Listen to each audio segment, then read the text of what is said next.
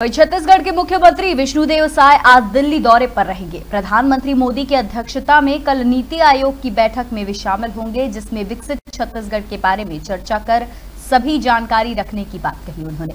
बता दें कि प्रधानमंत्री नरेंद्र मोदी की अध्यक्षता में नीति आयोग की बैठक 27 जुलाई को होगी।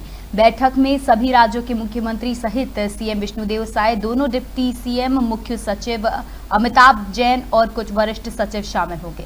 इसमें सीएम साय विजन छत्तीसगढ़ दो के लिए बनी योजनाओं के लिए आर्थिक मदद मांगेंगे। हमारे छत्तीसगढ़ के अग्निवीरों को ये बताते हुए बड़ा हर्ष हो रहा है कि अब छत्तीसगढ़ में जितने भी अग्निवीर हैं उनके सेवा के पश्चात छत्तीसगढ़ सरकार उन्हें पुलिस आरक्षक, वन रक्षक, जेल प्रहरी इत्यादि पदों पर प्राथमिकता के आधार पर समावेशित करने की सुविधा देगी।